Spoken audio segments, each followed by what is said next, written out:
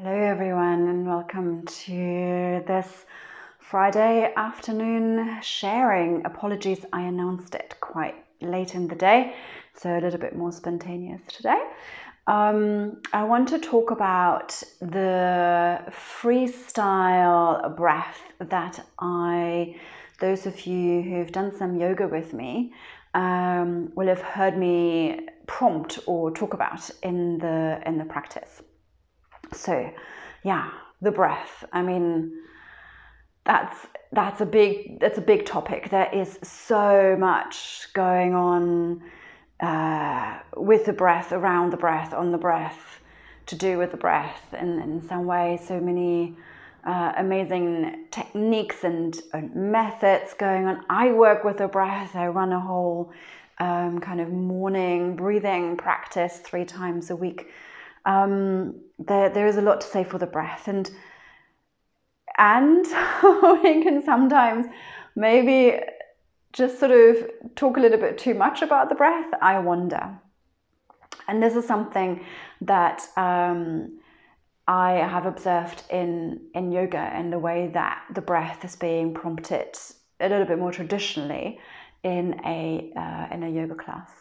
So uh, in yoga with many styles, there is quite a yeah, you know, it's kind of, it's all about, it's actually one of the things that yoga is all about that kind of bringing movement and breath together, moving with the breath, breathing into the practice and, and all of that. But there's sort of uh, quite a traditional way of that being prompted, as in, so we stay here, we take three breaths, or inhale, do this, and exhale, do this, Inhale, do this.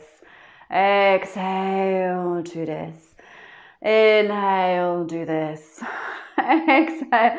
So there's quite a little bit of that going on, and um, and I used to do that kind of that kind of yoga as well. But I'm somehow finding, even just as I'm saying it now, I know I was being a little bit flippant in the way that I was saying it.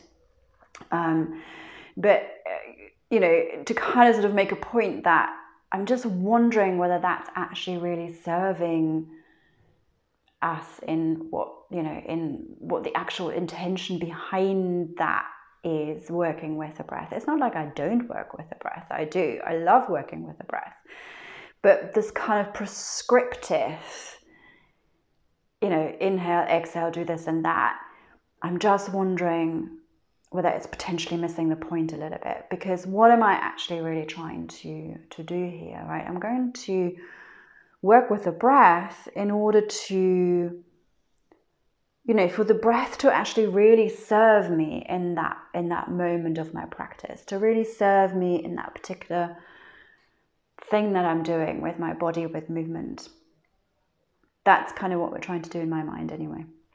Um, yes developing breath awareness uh, and you know and improving our breathing capacity and all of that you know is, is also uh, kind of one aspect. But you know we're talking about you know i'm coming to the yoga mat and i'm prompting this breath along with the asana practice. So there's got to be a real intention behind that um, you know otherwise why would we do it? And so to me it's like we're trying to find a way of how this that the breath can can serve what I'm doing there on the on the mat, and and I wonder whether this quite rigid pattern of inhale to this, exhale to this, inhale to this, la, la, la, is really doing that, or maybe might even kind of achieve the opposite. Because in in the way it feels to me, my sense of it, it feels very prescriptive. Um, there's a kind of sort of pressure behind it because you sort of also have to achieve it, you know, especially if it's a dynamic class, you know, you kind of have to keep up with it. Um, and to me, it kind of creates a certain tension and maybe even like a whole other habit in my system that actually, those of you who know my, my yoga, I'm actually trying to break down rather than develop new ones and add to them. So, yeah, you know, and it's not like we, we, I know we often say, you know, some people are not even really aware that they're breathing. I, I've said that before. And, and it's kind of like true. People, not everybody has a particularly good and healthy, deep, full diaphragmatic breath. um, especially when there is anxiety and stress in our system. Everything is compromised when it comes to the breath. Yes, definitely. Um, and those people are also still breathing. It's not like they're not breathing, that they are breathing. So it's not as such really that necessary to kind of prompt them in, in this way. Um, and it might even, even though our intention is to bring breath awareness and to encourage the breath to wake it up and all of that, it might actually also almost be a bit too much. It depends on where that person is actually at. We might not be really meeting them with those instructions where they are at that moment in time. So that actually even worries me a little bit.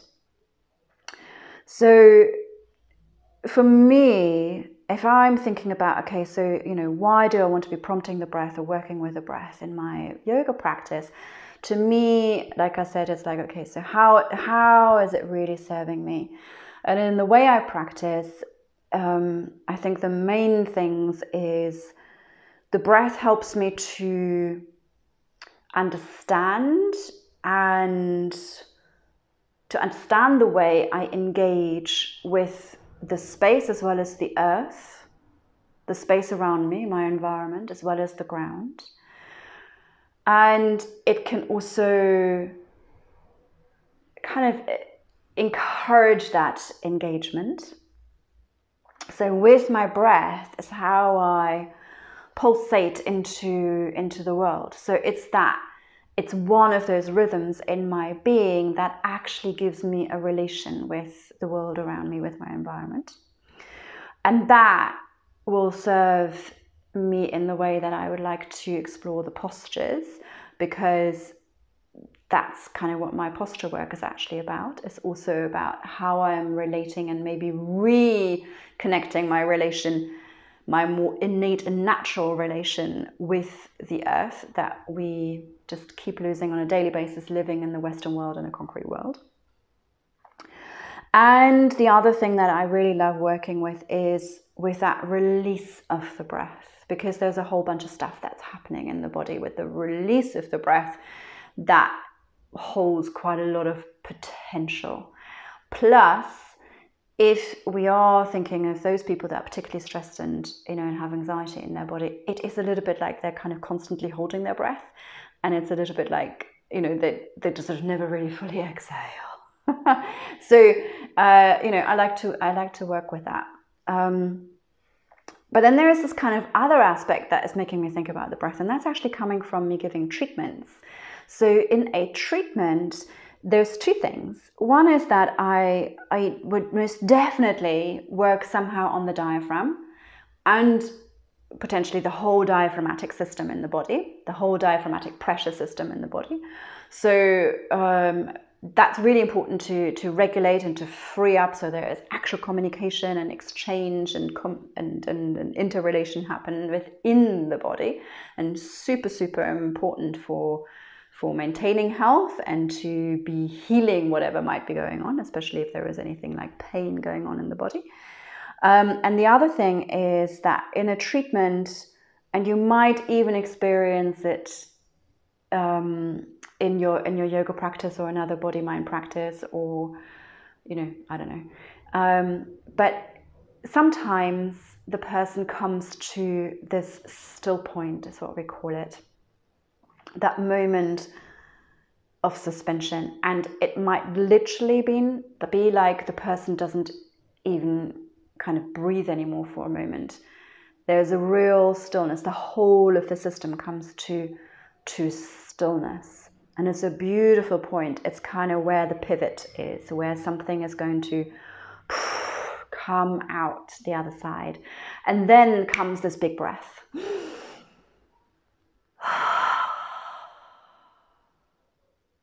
And actually, that, that big breath, that full, big expansion into the whole of the body might even come without a big still point or even like a still point in the first place. But sometimes we have these really spontaneous big breaths where everything is just expanding like big time. It's like it feels like that breath is going on forever. And that is like, that's the gem, you know, when that happens in a treatment, I know, ah, okay something is changing. Something has just moved, something has just shifted, something has just released. And we might get those breaths, you know, as we walk down the streets potentially. It doesn't, you know, need to be in, in a treatment, but in a treatment, we are kind of uh, triggering that response potentially uh, in a way. Um, but for sure, it might come in your in your own practice as well. So maybe it's it's familiar. So those two aspects from the the body work I do, I'm really playing with now in the yoga practice and in my prompts with with the breath. Um, because I think there's so there's so much potency in that and we can create this in our own practice and we can use our yoga practice to to to actually really create those those shifts. We don't necessarily always need somebody's hands on on us to to create that shift to create that change. So one thing i i quite like to do is and I notice this in myself, you know, I often sort of start, okay, let's take three deep breaths, and I kind of sort of go along with it and go into sort of demonstration mode and we take these three deep breaths and I'm, I'm watching everybody and everybody is kind of going a bit over the top and and following an instruction. Has sort of gone a little bit you know sort of head down process. It is they like oh, i've been told to take three breaths so let's go and take three breaths. And i'm like oh that's like that's not really what i meant. So I just added a couple of words to that, and I don't know if it's like making that much of a difference, but my intention actually is when I ask, okay, let's you know to start with, take three deep breaths, is actually that we take those three breaths just for ourselves. And those three breaths can look and feel and sound any which way you want. It's just for yourself. So I don't know, let's try it. I mean, like, let's just take three deep breaths that are just for ourselves. Never mind what it looks like, if I'm demonstrating it or not, or if you feel like you need to follow in a certain instruction to have certain outcome. Let's do it together. Let's just take three deep breaths simply for ourselves. Hmm.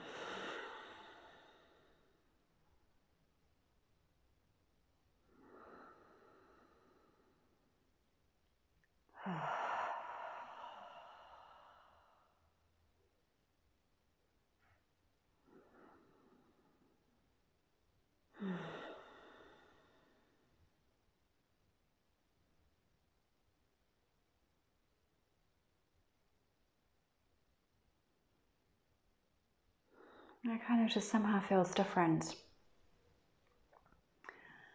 It's really bringing me in a quite direct way a lot closer into my into my central axis into my kind of central being into this place of of inner stillness of that you know where it's just that little bit quieter um, and so if we want to breathe for ourselves then you know that already kind of means you need to breathe in any which way you, you feel is right for you at that moment. So that could be through the nose, could be through the mouth, it can be with a sound, without a sound, it can be with a movement, without a movement. It doesn't really matter because it's just for yourself. It's very personal, it's completely individual. So, you know, again, kind of wondering why we're prescribing also the method of breathing very often in yoga or in, in all of these practices. Yes, I know there is an intention, there's a sometimes even a science behind it, there's a lot of kind of success stories behind a certain type of breathing, there's a whole history and tradition behind it. I'm not disputing any of that. And I'm just questioning, you know, like, is that really always going to meet us where we are and what we really need in that moment? So we need to breathe as it feels good and as it really serves us in that moment in time. And it will also be different every time. Like even those three breaths were different within themselves. And also, often I breathe out through the mouth when I do this. And just now, the first one felt like good and quiet and happy through the nose. So uh, it will be different every day because I'll be in a different place every day.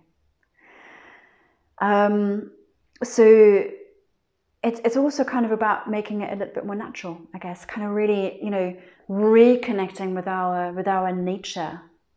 That's also kind of what it feels like a little bit. And so often, and and, and I I also sometimes do it still, and and definitely used to do it. We are asking to breathe into something, like breathe into your toes, breathe into your back, breathe into this, breathe into blah blah blah. Okay, so technically, we all know that's not possible. And I just wonder whether we can tune a little bit more into like you know a kind of bottom up approach and language in this or or actually name it kind of what it what it actually means. So something i started to play with and, and in fact actually i would kind of like to put this out here and see what you guys think. Um, it's like i've started to say so let's use the power of our imagination and just pretend for a moment that it's possible to send the breath along the spine or whatever it is that you want to breathe into. And use whatever image might help you. Like maybe you're breathing along a hose pipe, or maybe you are kind of drawing a line along with the breath, or maybe you've got this kind of garden path that you walk along, or maybe you're actually thinking about the, the, the real anatomy of the spine as you're sending the breath along the spine. Um, and and so I'm kind of really trying to get into because ultimately that it is a visualization. So you know, how can I make it real is by um, using something that's actually a lot more tactile, like something visual. It could be something audible, it could be a color, it could be a taste, it could be a feeling, a sensation, really going into sensation of it. So that's kind of like a that's another aspect again of just really uh, working with the true nature of things. Um, I do quite like waking up the breath for sure. Um, so I've started to, you know, prompt just like a deep breath ever so often. And, and this is where I started to say, okay, let's do one of those freestyle breaths. So the freestyle breath basically means there's only one stipulation that it is a bit deeper than your normal breath. But everything else about that breath can be as you want it. So through the nose, through the mouth, with a sigh, with a sound. And this is like where I'm loving this whole online Zoom teaching scenario because if you're in the comfort of your own home, you're not feeling too silly because nobody else can really hear you if you wanted to take a really big, big, big, exaggerated breath. If it feels like that's what you want and need in that moment in time. So, I, by just bringing in this kind of freestyle breath and the way you want to breathe, you're also waking up the breath, waking up the whole body with that, letting the the body actually come into more of its natural expression. And in a way, I'm kind of yes, fair enough. It's like what I'm trying to to sort of trigger almost is those those spontaneous deep deep breaths those spontaneous breaths i was mentioning earlier that happen often in a treatment where that true change happens. And yeah i mean you know fair enough. Like maybe that doesn't always come straight away that spontaneous breath. So let's just let's just do them you know. So why not have a go at uh, rem- reminding the body actually of what those big spontaneous feel good freestyle breaths are like because when those spontaneous big breaths come they feel great. And you know it because we've, all experienced those. Um, so I'm just kind of tapping into that body memory of that of that spontaneous deep breath where things can change. That's my idea behind it anyway. Um, and yes, with that, you know, for sure, we are regulating the nervous system with that that waking up, that that potency in that in that breath. That change that spontaneous breath in the first place only comes because of a real change in the nervous system at that moment in time. So again we're also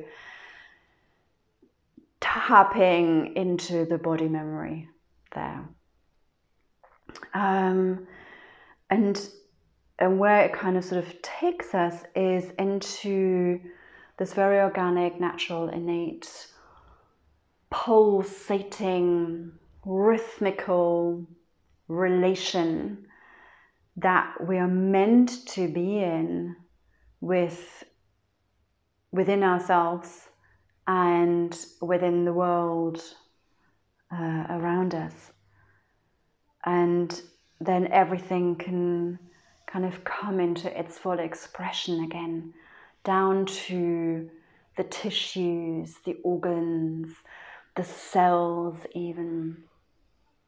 Um, and and maybe we can you know like just take an exhale again from time to time. It just uh, reminded me of a talk i did quite some time ago. I think it was called something like um, dare to exhale it's time something like that. Because uh, i was kind of feeling that during the pandemic we were sort of globally holding our breath. Nobody kind of really you know dare to exhale and, and um, in, in waves that that feeling keeps coming up. And I was giving a, a little private uh, yoga session earlier this morning, and we were actually working quite a lot with that uh, diaphragmatic pressure system and really getting our tissues to, to, to breathe and be in resonance with that expansion and emptying out. And it just kind of, I don't think I ever said that before in any kind of instruction, but uh, it just kind of very naturally came right at the end uh, going into final relaxation, um, I kind of ended up saying, and and let the bones exhale, and let the cells exhale, and you know, it's kind of it's it's that that the whole body kind of, you know, wants to wants to really breathe.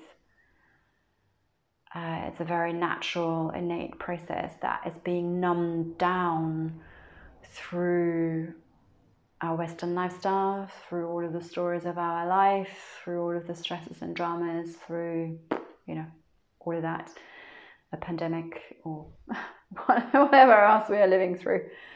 Um, and it's about reigniting that i think for for maintaining health balance on all levels uh, on all levels and and so i wonder you know so i'm just wondering about the instructions that we use to prompt the breath and i'm playing with it so um, not saying that i've quite worked it all out yet but that's where i'm at that's what i'm playing with right now uh, so I would I would love to hear from you. Two things actually I would love to hear from you. One, maybe more, I don't know. One, definitely, you know, what are do you have any examples of how the breath really serves you? Maybe in a practice, maybe in yoga, maybe you're loving particular breathing technique in yoga. I'd love to hear that, and I'd love to hear exactly how that helps you and really works for you.